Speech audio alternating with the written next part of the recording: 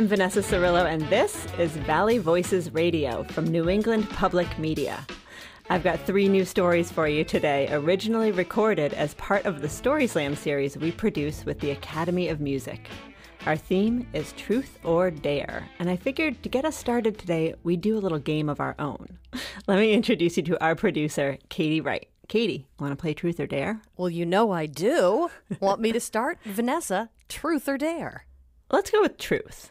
All right, let's see. Tell me, truthfully, what is the most embarrassing concert you've ever been to? I gotta say, New Kids on the Block, summer of 1990, Lake Compounce. And I threw up my fried clam strips on the way home. it was really, really bad and it sticks with me forever. I'm sure it does. Thanks for asking, though. That's the point of the game. All right, now it's your turn. Truth or dare? All right, Katie? gotta do a dare. All right, well, lucky for you, Uh oh. my husband's growing some real hot hot peppers this season, and I got one for you right here. It is a habanero, fresh off the vine. Oh my god. Dare you to take a bite, Katie? All right, here goes. Oh, she's doing it. Oh, sorry. Ooh. Anyway, our first story is from Nikki Hamer, also known as Jane Bond by her family, because she tends to find herself in daring situations. Like this one. When you're on vacation with your family in the south of France, there are a lot of things you hope you never have to do. And one of the things you hope you never have to do is you hope that you never have to grab another woman's bag and throw it off the train. Dun, dun, dun, dun, dun, dun, dun, dun, dun, dun, dun, dun, dun. I had to do that.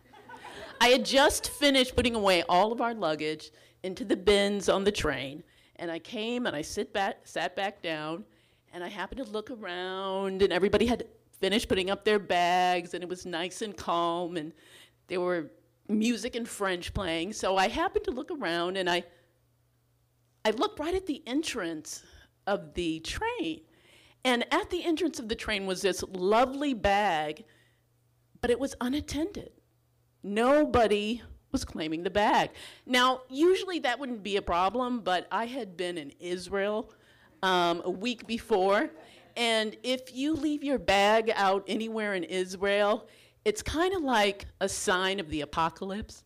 You know that something is going to, or you hope that something will never explode or, or, or whatever. So I started to panic a little bit. I was like, is this yours? Is this, no, it's not yours. And it, and it was no one. So I did what any good American would do in a foreign country of our NATO allies. I stood up, I looked at my wife, who was Israeli, who was already going like this because she knew something was going to happen, and my daughter, who was just happy to be there, and I thought, it's now or never.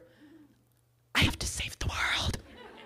I have to save France, and I have to save my, my daughter and my wife. So I stood up, and in my best high school French, I looked at all the passengers and I said, Excusez-moi, moi, yours, bag, luggage, yours, yours, luggage, transportation for clothes, yours.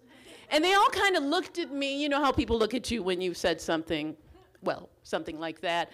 And I heard two French women say something that kind of sounded like, I'm not sure, American idiot. And then I saw a group of students sitting out to the side, and the students were looking out the window, and then they looked back at me, and then they looked outside the window as if something was really interesting happening out there, and they didn't want to pay attention to the American woman. So I said, okay. So I looked around, bag, bag, baguette, luggage, luggage. And then I looked at this one woman who was sitting near the bags, and she had dark hair, and she had really dark glasses on, and she had her earbuds on. She was listening to something. And I said, Bag?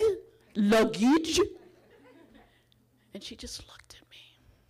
And then she looked down. So I was starting to panic a little bit more because I was like, there's luggage. I had been in Israel.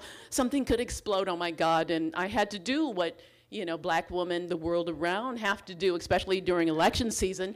I had to save the world. So I took my little, my little mustard colored espadrilles and I walked down the stairs and I picked that bag up. That heavy bag at least I thought it was heavy. It wasn't really that heavy, it was really light. So I picked it up, and it had that kind of fake titanium, gray, silver with a lot of smudges going on. And it had itty bitty tiny wheels. And it had a wheel, like, you know, that wheel that you get at the grocery store on that cart that just, just doesn't want to move quite right. So I put it back down and I lifted it up. And with all my might, I pushed that luggage out the train onto the platform. And I went back up. I sat by my family. I was, I felt blessed, blessed really. And so my wife looked at me and she said, "Oh my God, what have you done?" So she got up, and she went and she got the bag and she brought it back on the train. so, as we rolled into Nice, I let everybody get out of the train because I wanted to see who that bag belonged to. So everybody was out except me and one woman. That woman with the dark black hair and the dark glasses and the earbuds. And she took those earbuds out and she looked at me and she said, That bag is mine.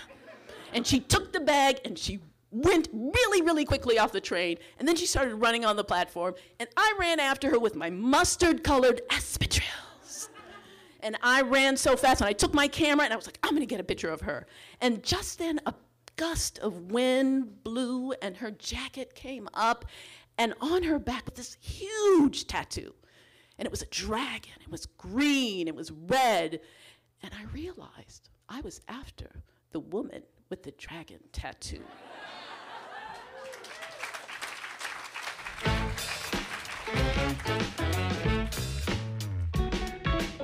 Nikki, I want you on my train, girl.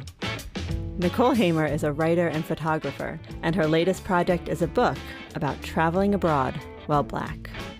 This is Valley Voices Radio from New England Public Media. I'm Vanessa Cirillo, and we're playing Truth or Dare today. Join our Facebook group to share your truth, or if you're feeling bold, accept my dare. I posted a challenge just for you on our Valley Storytelling Community Facebook page. Next, Deirdre Cuffey Grey gets real about her experience as a black woman living in Western Massachusetts. So, I'm thinking about buying a gun. Even though I'm a former U.S. history teacher, I never thought I'd be exercising my Second Amendment rights. But the truth of the matter is, I'm afraid of white people. Now, don't get me wrong, some of my best friends are white. My wife is white, but it's angry white people that I'm afraid of, the kind with AK 47s. Recently, one of my nephews, Ellison, was in for Auntie Camp, and our, as we drove out of town, he asked me, Auntie Deidre, how come there's so many Black Lives Matter signs here and no black people? And I was stumped. All I could say is there are a lot of good white people here sometimes uh, when you walk around, if you take a walk around my block, there are about 15 times more Black Lives Matter signs than there are black people. And it's me, I'm the black people. And, and that's okay. If you think about where I live, I live in a little spot that we call the compounds, lovingly. We decided not to call it the compound because compound sounds a little militant. It's four lesbian couples, three houses, eight cats. I did say lesbians, two dogs, a hamster, and three kids. And the fences in between our yards, they're gates so we can get to each other. It's a wonderful community. We love each other, and we'll love each other forever. But recently, a couple of signs disappeared at night, and that didn't feel so great.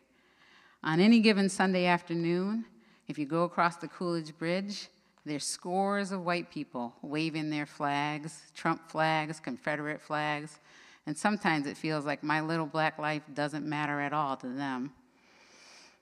The compounds formed a book group. We're looking at Octavia Butler's Parable of the Sower. And it's a dystopian novel. It features a young girl, a go bag, a gun, and the end of the world as we know it. It is not an uplifting Sunday afternoon storytelling moment. But Tara, in her upset, called me one day and said, Deidre, you want to come to a firearms safety training course with me? And I said, Yes. I don't know much about guns. There's a Christmas picture of a three year old me with my cousin Stephen brandishing silver holsters and guns, and he looks delighted, and I look bewildered.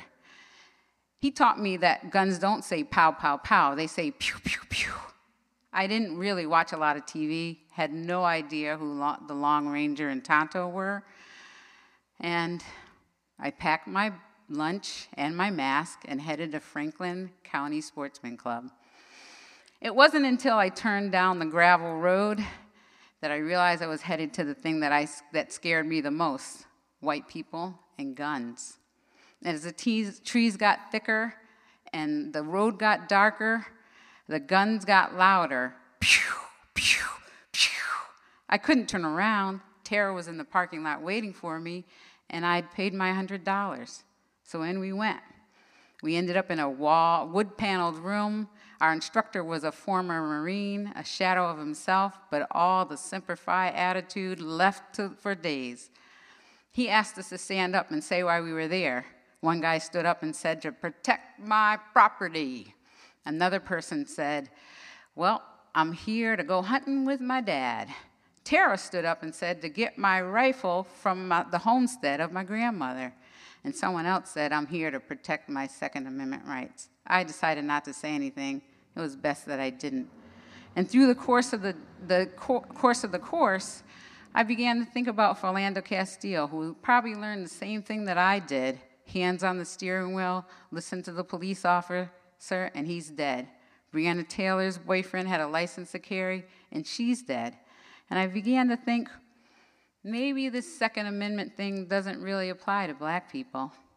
And as I left with my NRA handbook, I was resolved not to get a gun.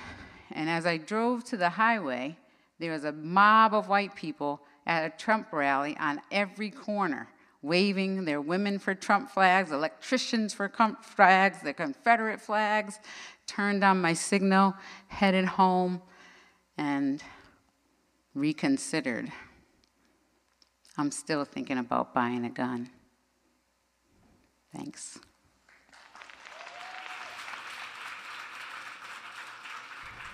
That's Deirdre Cuffey Grey sharing her story on stage at a Valley Voices Story Slam in Northampton. She recently told me she's still terrified of guns and people in pickup trucks with guns, but for now, she's only packing bear spray and mace.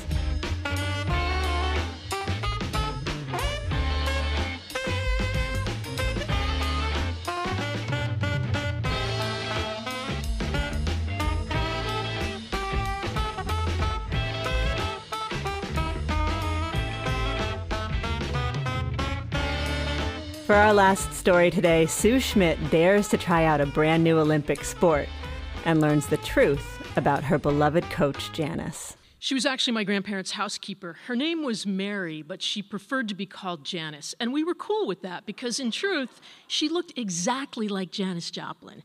She had strawberry, frizzy blonde hair, and she wore these kind of colorful hippie clothes.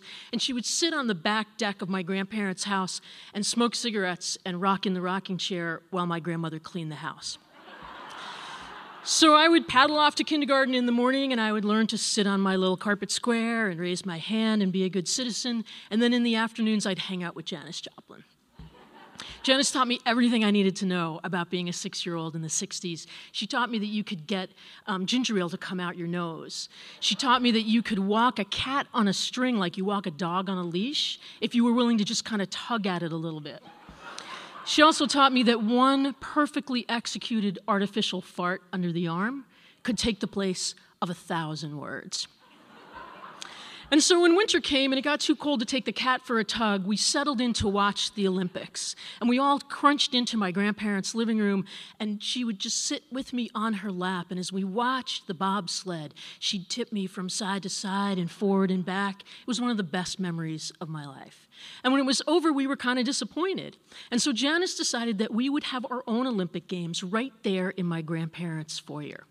And so my cousins and I and my brother had been down the banister many times, but always kind of backwards butt first. And Janice decided if we put a pillow around our waist, we could go down head first and increase our velocity. She also decided that if we took one of those industrial laundry baskets and put it at the bottom of the banister, we could hit that and then bobsled across the hallway, thus inventing what my family now refers to as the luge bob.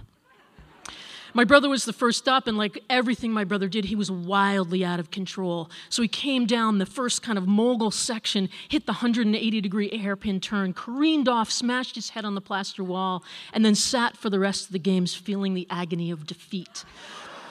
My cousin was next. He made a very clean run, hit the laundry basket, skid across the hallway, and smashed into the front door. And then it was my turn. I was terrified. And Janice walked me to the top of the banister and she strapped the pillow on and she said, My money's on you, kid. And I tucked in and I dipped my head and I came through those moguls and I came around the 180 degree turn, gripping on. I hit the giant slalom. I landed squarely in that basket. I skid across the front hallway. She opened the door, out the front door, onto the lawn, crashing into the frozen bird bath, tipping over. And I jumped out of that basket and I stuck the landing. An hour later, I received the gold medal, which was a chocolate coin on the end of a repurposed cat leash. Winter turned to spring, and I came home one afternoon, and my grandmother met me at the door, and she said, I want to just let you know that Janice is leaving. And I said, What do you mean she's leaving? And she said, Well, she's going to go live with her family. And I was like, But we're her family. And I just burst into tears. And I couldn't really understand, but I could tell from the look on my grandmother's face it was complicated. And I just cried myself to sleep that night because Janice was my best friend. She was my only friend at that point. And sure enough, the next morning, Janice and I stood at the bottom of that luge bob run, and I just cried. And she held me, and then she put her hand under her shirt, laid off the most perfect artificial fart you could ever hear. She put the floppy leather hat on her head, picked up her bag, and headed out to the car. And I could hear as my grandfather and her drove away, Lord, won't you buy me a Mercedes Benz? We had a Volkswagen, but reality and fact did not really matter to Janice because, in truth, Janice wasn't an Olympic coach. Janice wasn't a housekeeper. Janice was a psychiatric patient that lived at the state hospital where my grandparents worked. And when they had met her, they realized that she was not going to get better at the state hospital.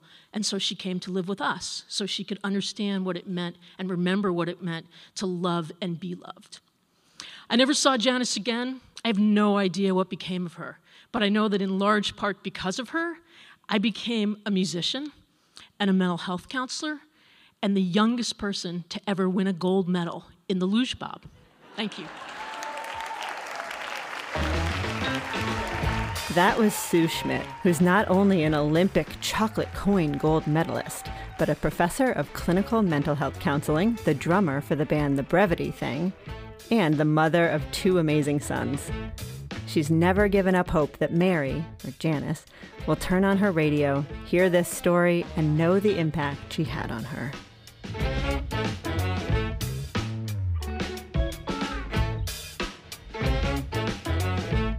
That's our show for you today. I think we stuck the landing.